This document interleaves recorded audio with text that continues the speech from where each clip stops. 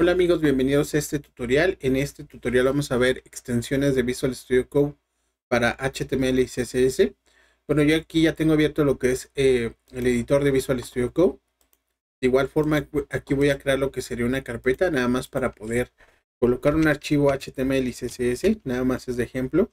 Aquí le voy a poner de nombre prueba mi carpeta y voy a arrastrar lo que es mi carpeta hacia mi editor, ¿ok? Esto, como les comento, es simplemente para yo eh, hacer el ejemplo y ver lo que hacen las extensiones que vamos a instalar. Aquí, bueno, vamos a crear lo que es un archivo HTML. Voy a poner index.html. Ok, y también un archivo de estilos, style.css. Ok. Ok. Y aquí, bueno, ya tengo mis archivos creados. Aquí, eh, bueno, lo que quiero hacer énfasis es que em, en cuanto ustedes crean un archivo HTML con la extensión .html o .css de estilos, eh, Visual Studio Code ya aquí los detecta en automático. Y por default ya vienen algunas extensiones. Algunas de esas extensiones son, por ejemplo, HTML snippets, que pueden aquí ver que eh, no, lo, no lo instalamos, pero es un ejemplo que ya, ya viene por default en el editor por sí solo. No es necesario instalar esas extensiones. Las extensiones que les voy a nombrar son las que vienen por default. Por ejemplo, HTML snippets es esta parte del autocompletado. Si nosotros ponemos y elegimos el del medio, nos crea la estructura básica. Ejemplo, aquí si nosotros ponemos un H1, pueden ver cómo nos los va autocompletando. Entonces son, son snippets ya que vienen por default en el editor. ¿ok? De igual forma, si nosotros eh, usamos aquí en CSS, por ejemplo, un nombre, una clase, y por ejemplo, por queremos poner un background color, aquí ya pueden ver cómo nos va eh, sugiriendo lo que necesitamos. Y esto por default ya viene instalado, ¿ok? Entonces no es necesario como nosotros instalar lo que sería eh, esas extensiones porque ya vienen instaladas, ¿ok? Entonces, eh, ese es HTML Snippets, CSS Intelligence, que es esta parte que estamos viendo. Y también juega un poco lo que sería Emmet, que también ya viene integrado en el editor, ¿ok? También el Path Intelligence también ya viene integrado. Si nosotros aquí ponemos un link y ponemos eh, la inicial de lo que necesitamos, pueden ver cómo nos hace el autocompletado. Entonces, esas extensiones ya vienen por default, pero les voy a recomendar algunas que van a acelerar su, su desarrollo un poco más eficiente, ¿ok? Entonces, la primera extensión que les voy a recomendar va a ser la de Auto Rename. Aquí vamos a poner Auto Rename Tab, es esta de aquí. ¿De acuerdo? Y, y bueno, vamos a instalarla. Aquí si nosotros instalamos, aquí vamos a darle un par de segundos, va a iniciar la instalación. Aquí ya podemos cerrar esta parte. Recuerden, es esta, esta extensión de aquí. Tiene 16 millones de descargas. Entonces, esa extensión es la que vamos a ocupar. Esta extensión para que nos ayuda. Por ejemplo, si eh, es muy normal que nosotros tengamos mucho código en la parte del HTML. Esta extensión es precisamente para eso. Por ejemplo, si aquí ponemos una sección, luego aquí, digamos, queremos un div, y luego de esto queremos un h1, y, y así sucesivamente, ¿no? Tenemos varias etiquetas, por ejemplo, aquí un párrafo, pero nosotros, por ejemplo, se va haciendo muy grande esta parte. Porque normalmente lleva muchísimo código lo que es el HTML. Entonces, para nosotros ubicar la etiqueta de cada uno es complicado. Por ejemplo, si yo quiero aquí renombrar esta etiqueta, tendría que buscar el inicio y el cierre. Y si, y por ejemplo, si se envuelve en otro div, pues es más complicado, ¿no? Entonces, esta extensión lo que hace es simplemente, si nosotros aquí queremos que este div sea un, una sección, pues lo ponemos sección y la extensión nos cierra la otra parte de abajo. O sea, ya no necesitamos buscar y cambiar en los dos. Simplemente si nosotros ponemos eh, aquí, por ejemplo, un H1, en automático en el cierre también no los cambia. Y esa es la ventaja de esta extensión. Es muy útil porque, bueno, a veces tenemos lo que sería un ejemplo mejor aquí. Tenemos esta parte y para venir y cambiar una por una, por ejemplo, tenemos que buscar dónde abre y dónde cierra. Pero con esta extensión, pues ya simplemente ponemos aquí section y en automático abajo también en el cierre no los, no los cierra. Entonces esa es la extensión, la primera extensión que les voy a recomendar. La segunda extensión va a ser la de Live Server. De hecho aquí ya voy a cerrar lo que sería este ejemplo. y aquí voy a crear un H1, ¿no? Hola mundo. Y vamos a instalar la extensión de Live Server. Vamos a venir aquí, vamos a poner Live. y luego server. Vamos, es esta extensión de aquí, tiene 43 millones de descargas, aquí vamos a instalarla. Esperamos unos cuantos segundos. Y bien, aquí ya parece que ya se instaló lo que sería esta extensión, ¿ok? Entonces ya se instaló Live Server, vamos a venir aquí directamente a lo que sería al HTML. Esto es muy importante, tiene que ser en el HTML. Aquí voy a abrir una pestaña. Y en el HTML le voy a dar clic en cualquier parte. La extensión nos instaló esta parte de OpenWLive Server o Stop Live Server. Vamos a darle OpenWLive Server. Esperamos unos segundos. Y nos va a abrir en, el, en nuestro navegador un servidor local. Es esta de aquí, ¿ok?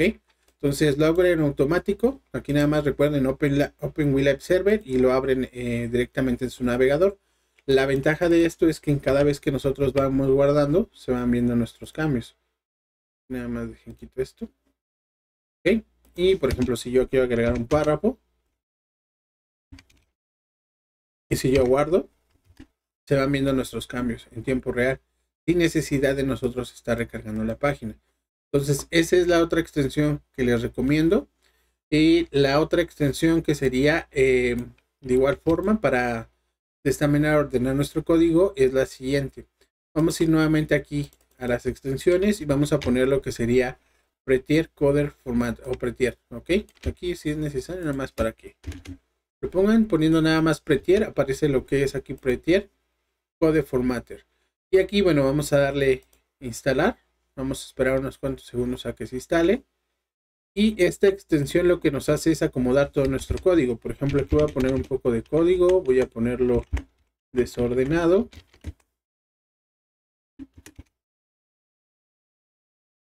Aquí vamos a darle guardar y listo. Aquí la ventaja es que, eh, bueno, esta extensión lo que hace es formatear nuestro código. Lo único que tenemos que hacer es darle aquí clic derecho, forman, pero vamos a, vamos a configurarlo para que sea primero forma document con y vamos a elegir aquí el que dice Prettier, code Prettier.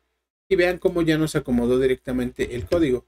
Si nosotros aquí ponemos más código que esté desordenado, eh, por ejemplo un H1, etcétera. Si nosotros aquí venimos clic derecho el ratón Forman Document, ahora sí Forman Document porque ya lo configuramos, pero le damos Forman Document y ahora sí, eh, bueno, aquí no se dije nuevamente, Coder Prettier y aquí nos los puede acomodar.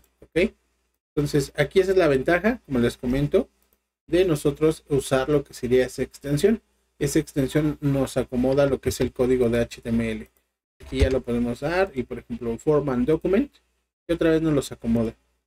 Entonces, esta extensión se la recomiendo para formatear el código. Ok, y bueno, eso sería la de code, eh, bueno, prettier para, para acomodar el código en el HTML. Y vamos ahora con las de CSS, ¿ok? Aquí, bueno, vamos a instalar la extensión que es CSPIC, que, bueno, aquí vamos a venir a extensiones.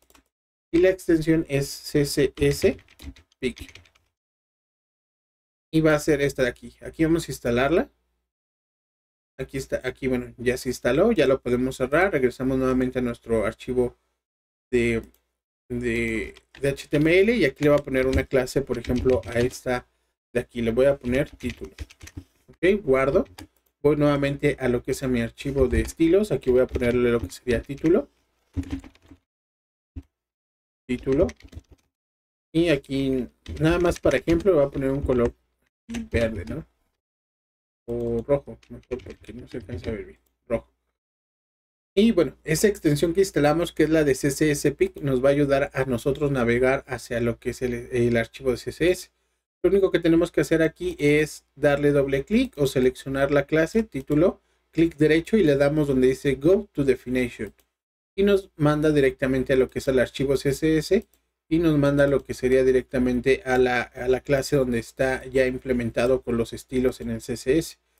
Esto es muy útil porque, bueno, en, una, en un proyecto ya eh, real tienes muchísimas líneas de código. A veces hay más de 800, más de 2000 líneas de código. Entonces, esa extensión aquí ya nada más selecciona sus clases, go to definition y los dirige directamente a donde se aplicó el estilo de esa clase.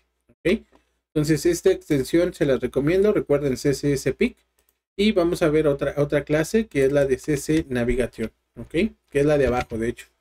Es esta de aquí. ¿Ok? Esta se, también se la recomiendo. Aquí, bueno, vamos a instalarla. Y ahorita eh, vamos a ver para qué nos funciona esta extensión. Entonces, aquí ya, las, ya la instalamos. Vamos a cerrarla. Regresamos nuevamente a nuestro archivo de HTML. Y aquí le voy a poner lo que sería algunas clases. Por ejemplo, este le va a poner test1. A este de aquí abajo le voy a poner clase eh, sección 1. ¿no? A este le va a poner una clase que diga eh, título 2. Guardamos y vamos nuevamente a nuestro archivo de CSS.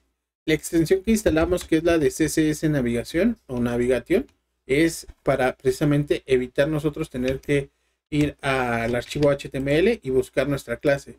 Aquí ya nada más poniendo lo que es el punto, nos da unas sugerencias de lo que ya están las clases implementadas en nuestro HTML.